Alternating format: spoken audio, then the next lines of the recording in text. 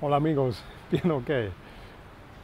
Bienvenido otra vez a esta bonita día aquí en Medellín. Entonces, algo pensamientos para hoy. Uh, recuerdo que cuando tú estás practicando tus oraciones por algo, situación, es que tú tienes ahora una muy buena oportunidad para enfocar y pensar muy bien con el forma de palabras que tú quieras utilizar.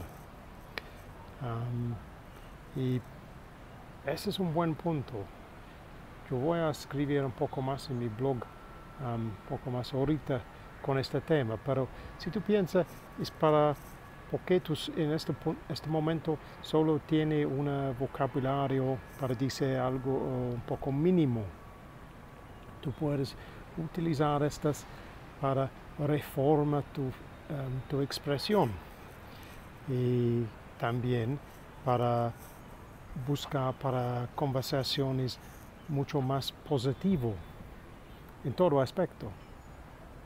Um, so now we have a good opportunity because we're now we're learning our new language and we're at that point where we're we're just beyond good to nearly fluid and we're trying to push into that um, that fluidity with the new language.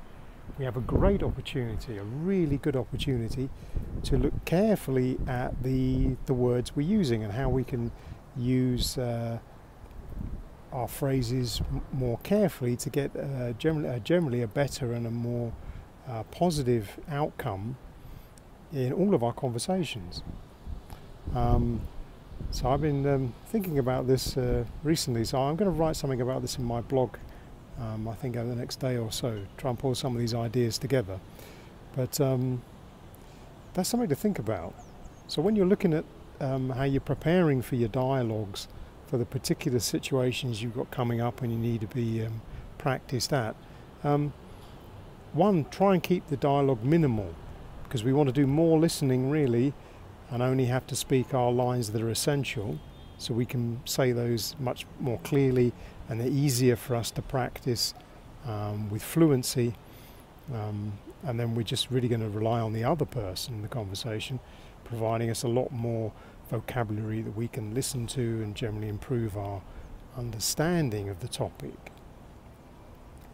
But have a think about this because um, if we can use our language in a very creative way and a positive way to get much better outcomes from these conversations, hopefully, in general, our, our interactions with uh, other people now should be a bit easier. So the idea is to try and help steer these conversations to a positive outcome with generally a bit less stress for all involved. Um, so I've been thinking about this recently quite a bit. So I'm going to try. So I'm going to try and write something up on this to see if we can expand this idea.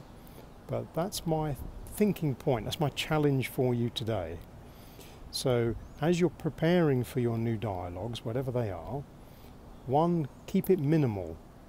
Don't need too many sentences for the particular scenario you're going to be speaking in. And think carefully about the phrases you're using, and let's see if we can focus this so we can always get you a positive outcome um, or at least stress-free conversation. Okay? So pensa bien con todas las palabras que tú vas a utilizar en tus conversaciones futuro. Por, um, pensa que esa es una buena oportunidad para mejorar en total el forma de tus conversaciones y para buscar en, en general por um, cada vez un más positivo conversación con otra gente. Listo. That's it for today. Have a great evening. See you soon. Cheerio.